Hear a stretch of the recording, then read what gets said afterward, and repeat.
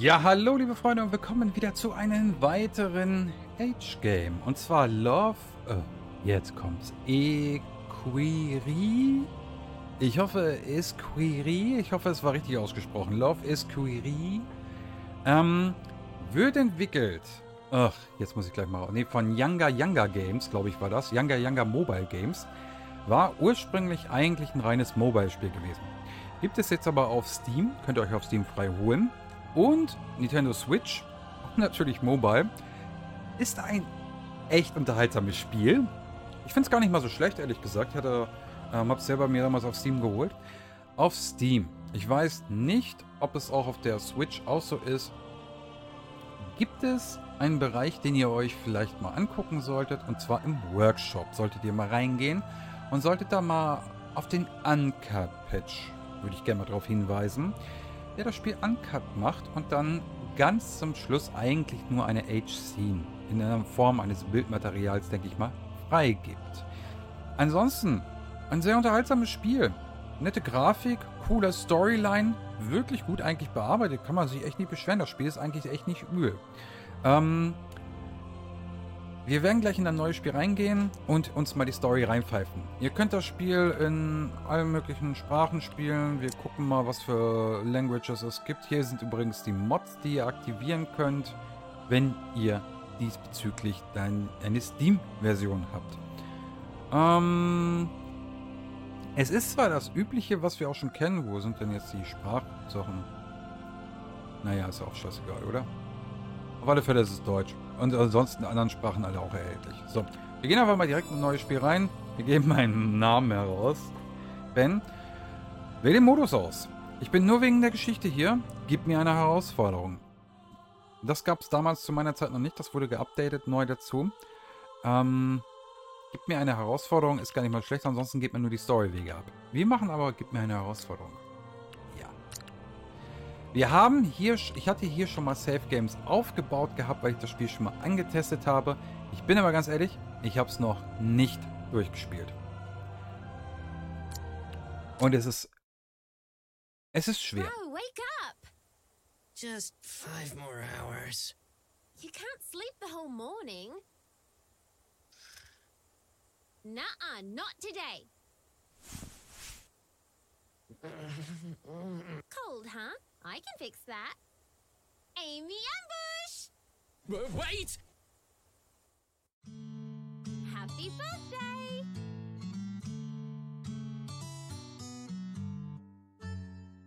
That's sir to you, sis. What are you yapping on about? Starting today, I'm gonna be a squire. You. Really now? Then happy birthday, Sir Squire. So, what'd you get me? Something you'll definitely like. So you better give me something good for my birthday as well. Oh, your birthday? You do remember, right? Yeah, for sure.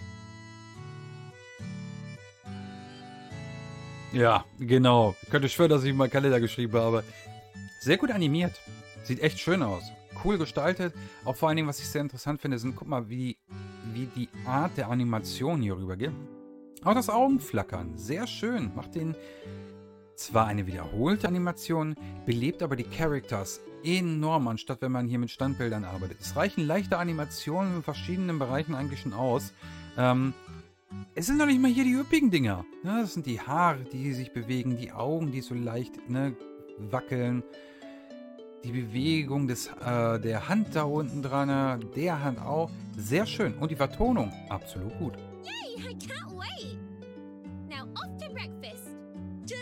Me a sec. See you downstairs.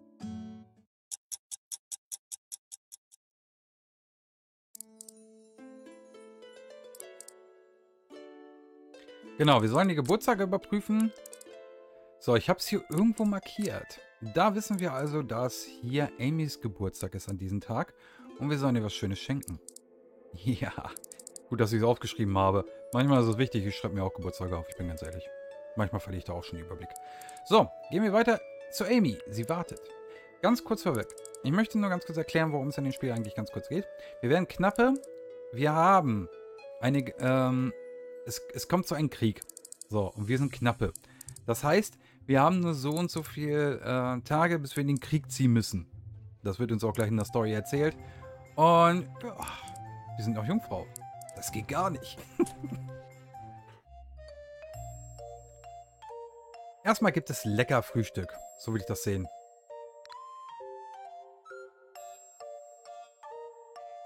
Amy, did you do something with your hair? You're looking absolutely stunning today. You really think so? Well, I've been trying this new herbal shampoo. Hey, wait a minute. I know what you're up to.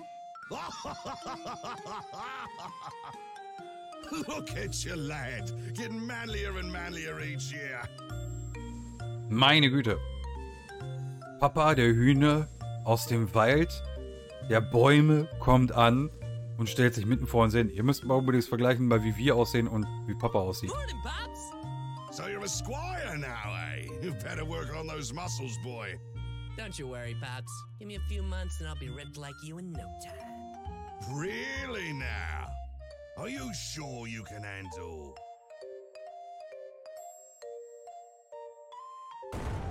These? Ich sag ja, der kommt aus dem Land der Bäume. Oh, you think you can get these in a few months?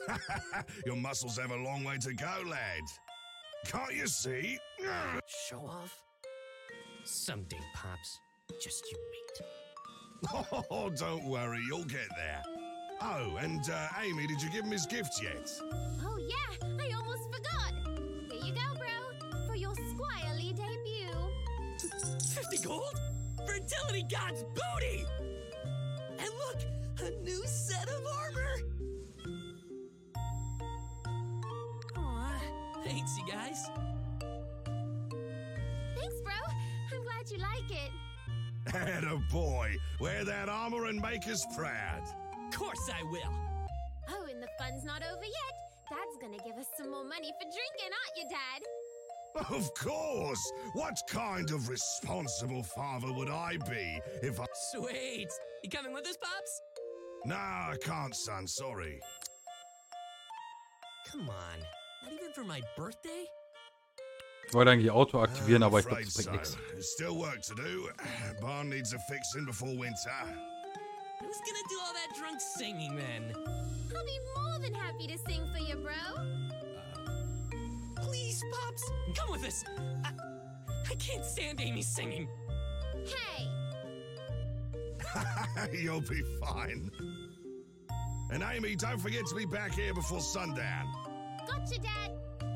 Have fun, kids. So, bro, should we get going? Uh, I think I still have to. All right, I'll just meet you at the tavern. See you there. So, wie gesagt, wir wären Knappe. Also wir werden auch in einen, äh, als Knappe auch bekommen. Wir bekommen 50 Goldstücke. Vielleicht kann ich das Spiel mal ganz kurz erklären. Ähm, wir gehen raus.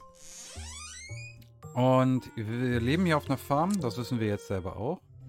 Das Ziel ist es einfach. Ihr seht selber hier diese riesengroße ähm, Platz, Krankenstation, Stand, äh, Stadtrand, Archiv, äh, Schloss und Zuhause. Ein Ausrufezeichen bedeutet das, dass wir mehrere Möglichkeiten in der ganzen Sache haben. Ich werde mal einen Spielstand aufladen und euch mal ein bisschen mehr vom Gameplay zeigen. Sehr gut animiert worden, also wirklich gar nicht mal so schlecht und wir sehen uns hier gleich wieder. So, ich bin mal hier im Zwischenspiel einfach mal angekommen. Cool, wie die kleine Kakerlake animiert ist.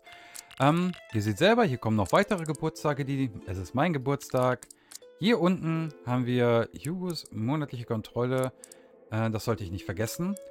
Wir haben zwei, drei, vier, vier Monate, glaube ich, Zeit, ne? Bis wir dann in den Krieg müssen. Das wird uns dann nachher später auch alles erklärt, kein Problem. So. Jetzt mal ganz kurz vorweg, ich zeige euch mal ein bisschen was vom Game. Ihr sollt ja auch vieles selber kennenlernen. Einige Charakter sind hier und mit ihnen könnt ihr interagieren. Stadt, Arbeiten, Geschenke, Familie. Ihr habt auch Herzensbalken. Das seht ihr hier unten so ein bisschen, wie die, im, äh, wie die, wie die, wie die Leute so, ja, wie sie sich halt zu euch hingezogen fühlen. Sagen wir mal so. Ähm, wir gehen noch mal ganz kurz raus, weil wir lernen auch noch mehrere Charakter in den ganzen Sachen kennen. Hier sind mal wieder Quests, mal wieder, die wir angehen können. Ähm, ich würde gerne mal wissen, das ist zum Zeitüberspringen. Manchmal müssen wir auch Zeit überspringen. Das wird uns ganz am Anfang aber auch gesagt, dass wir Zeit überspringen müssen, um eben halt ähm, ein paar, ein, ein, an ein paar gewissen Ereignissen teilzunehmen. Cool finde ich, wenn ein Charakter, wie sie jetzt zum Beispiel, hier zu Hause ist, ist es so kleinmäßig süß animiert, dass sie dann eben halt da bleiben. Und ihr seht, wo sie dann auch sind. Ihr habt das Ziel des Spiels, ist eigentlich das, keine Jungfrau mehr zu sein innerhalb dieser Zeit, bevor ihr in den Krieg geht. Das ist das Ziel des Spiels. Ich will nicht zu viel spoilern, weil es einfach geil ist. Es ist wirklich sehr, sehr unterhaltsam. Also wirklich, ähm, ich habe mal geguckt, also irgendwie steht es hier für 24,99 als Preis drin, also Dollar. Das heißt, da kommt noch ein bisschen was ab oder sowas, alles bei Steam. Ich kann die Kaufempfehlung hierfür wirklich rausschicken für Leute, die unheimlich Spaß haben auf Try and Error, also besser gesagt, Spiele zu spielen. Ich würde euch auch ganz dringend empfehlen, spielt das Spiel am Anfang ähm, auf den äh, Sachen, die ich das jetzt gespielt habe, dass ihr eine kleine Herausforderung habt. Ihr werdet es nicht bereuen. Ähm, ihr müsst leveln, ihr müsst... Äh, ach ja, übrigens. Wenn ihr zu einem gewissen Ort geht, finde ich auch eigentlich... Es ist eine coole Idee, das, das nehme ich nicht negativ. Dieses Spiel spielt mit eurem Zeitmanagement-Gefühl. Das heißt, jeder Gang, den ihr macht, der ist wirklich weg. Hier wären jetzt zum Beispiel zwei Stunden weg. Ne? Überall da, wo ihr hingeht. Hier wäre nur eine Stunde. Ne? Weil das näher dran ist zu eurem Bereich, wo ihr jetzt seid cooles Feature. Gefällt mir vollkommen. Also echt, das sind mal ein Feature, wo ich mal sagen muss, wow, da haben die Entwickler wirklich mal drüber nachgedacht. Klar, werden einige Leute jetzt kotzen und sagen, ah, die Zeit, die Zeit. Ich sage, ja, aber macht euch doch keinen, nicht ins Hemd. Ne? So, wir bleiben noch mal ganz kurz hier. Ich will mal mit ihr mal ein bisschen reden. Äh, Themen. Stadt, Arbeit. Wir reden mal über die Arbeit. Hey, sis. When you're not farming, what kind of work do you do? Shouldn't you know? There you go again, lazy ass let me remind you. I take the crops down to the plaza and sell them. Oh yeah, this one time I dropped an entire basket on the way. All those eggplants. Ruined. Dad was furious. Wow. Es gibt mal ein bisschen weiter vor. Und alles verbraucht seine Zeit. Aber die Beziehung verbessert sich zu 20, äh, ist um 20 Punkte gestiegen. Ihr könnt die Beziehung natürlich auch anheizen. Ach, Bessie allen, mich allen. Sehr schön. Cool, danke, Bessie. Ähm, könnt die Beziehung natürlich auch anheizen, indem ihr ein bisschen, ähm, ja, ein bisschen mit Dampf gibt. Warte mal ganz kurz, ich gehe noch mal rein. Konnte ich nicht anhand den Knill hier oben? Ja, genau, da war nämlich das. Wir haben nämlich auch ein kleines Menü. Wir sind Knappe, wir haben Stärke 1, wir haben Intelligenz und wir haben Charisma. Ähm, das ist Hugh, der hat 140er äh, LP und eine Stärke von 25. Wir haben Dings gekriegt und hier sind unsere Beziehungsbalken. Die Leute könnt ihr bekommen, oder besser gesagt kennenlernen, die Damen, und ähm, die Beziehung zwischen ihnen weiter schweißen. Meistens geht es dann einmal rum, bevor sich das Herz einmal erhöht. Ihr merkt also, es geht ganz schön zur Sache. Aber glaubt mir, der Spaß, es soll ja auch nicht, also in dem Run soll es ja auch nicht darum gehen, alle zu daten und alles klar zu machen, was hier dabei ist, sondern es soll darum wirklich gehen, dass man sich überlegt, welche Ziele man sich setzt hier im Leben. Was ich auch gar nicht mal schlecht. Das wieder durchspielen ist immer wieder ein neues Spiel, äh, Vergnügen wert. Ne? Und es stellt einen immer wieder vor neue Herausforderungen. Deswegen, also ich kann dieses Spiel wirklich nur wirklich wärmstens empfehlen. Es ist unheimlich cool.